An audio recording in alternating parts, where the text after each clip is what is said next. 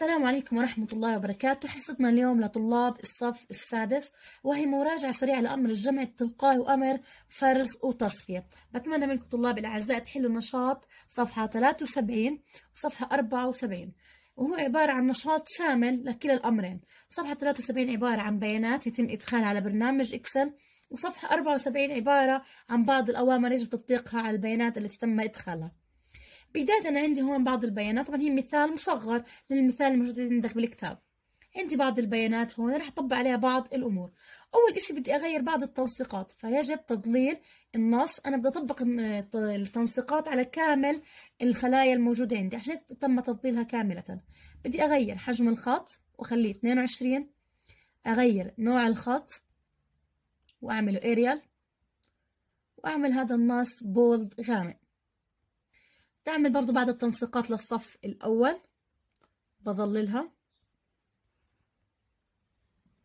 بدي أغير لون الخط اللون اللي بيناسبك طبعا وأغير لون التعبئة.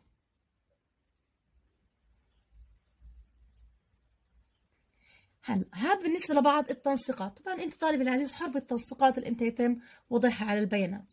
أول إشي هلا بدي أروح أختار أمر فرز وتصفية. إيش يعني أمر فرز وتصفية؟ أمر فرز وتصفية ترتيب البيانات سواء كانت بيانات رقمية أو بيانات نصية ترتيبها تصاعديا أو تنازليا يعني من الألف للياء أو من الياء للألف. أول إشي أنا بدي أرتب هدول الأسماء. طبعا هن مرتبين عندنا هون من الألف للياء أنا بالعكس بدي أعكسهم. نختارها من الياء للألف. رتبتها. نفس الإشي أنا بدي على العلامات عشان أشوف إنها تطبق على البيانات الرقمية. تختارها ترتيب من الألف للياء.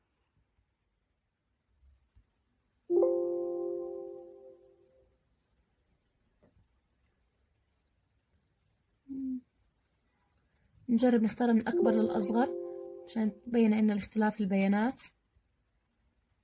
هيتم اختلاف البيانات. لاحظ ترتيب البيانات عندك اختلف. صار عشرين تسعتاش تمنتاش. نحن اخترنا ترتيب فرز البيانات من الياء للألف. رح نشتغل على الأمر الجمع التلقائي ويحتوي أمر الجمع التلقائي على مجموعة من المعادلات. اللي هو الأمر مجموع اللي هو ال sum أمر المتوسط average أمر أرقام الحساب count number. أمر الحد الأقصى ال max. وأمر الحد الأدنى. رح نعمل أول إشي الأمر المجموع. أول إشي بنحط إشارة اليساوي مشان نعرف إنه أنت رح تشتغل هلا على معادلة. إما بنختار من أداة الجمع التلقائي من الأداة الثانية. نفس الإشي رح يعطيني أنا المهم إني أنا أختار أمر sum.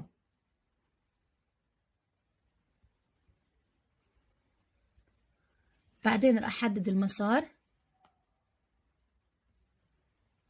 هي من عند علامة اللغة العربية لعلامة الحاسوب للطالب وليد حطينا إنتر. هل أنا أطبق أمر مجموع على كافة الأسماء؟ ما في داعي إني أنا أختار كل مرة. بحط المؤشر على آخر الخلية لاحظ اختلاف شكل المؤشر وراح ننزل فيه لآخر اسم موجود عندنا.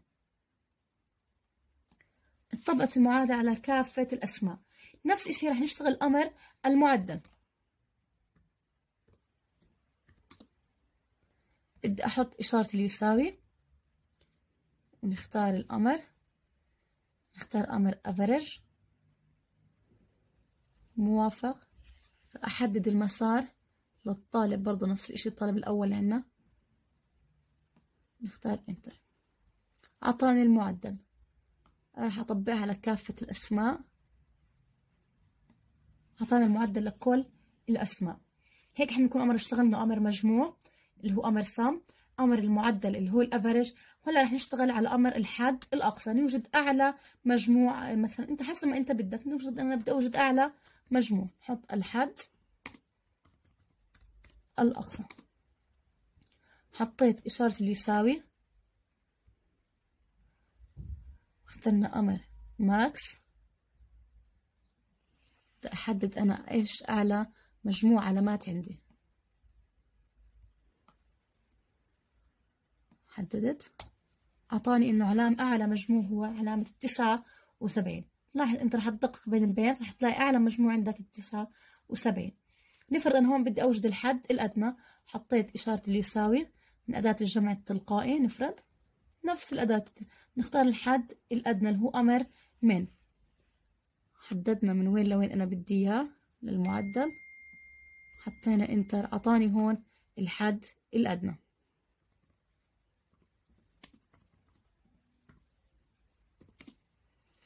آخر ضل علينا آخر إشي اللي هو أمر ال count number اللي أرقام الحساب. أمر count number بنستخدم إحنا عشان نحسب كم من خلية عندنا تحتوي على بيانات رقمية. أول إشي أنا بحط إشارة اللي يساوي أرقام الحساب.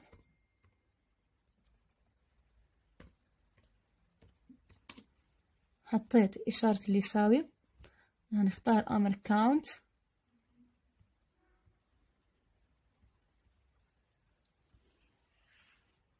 بحدد أنا راح أحدد أول مجموعة من هون. أعطاني إنه عندي تسع خلايا تحتوي على بيانات رقمية وهيك طلاب الأعزاء بنكون أنهينا مراجعة سريعة لأمر فرز وتصفية وأمر الجمع التلقائي. بتمنى إنه تطبقوا مثال صفحة 73 وصفحة 74 يعطيكم ألف عافية. بشوفكم الحصة القادمة.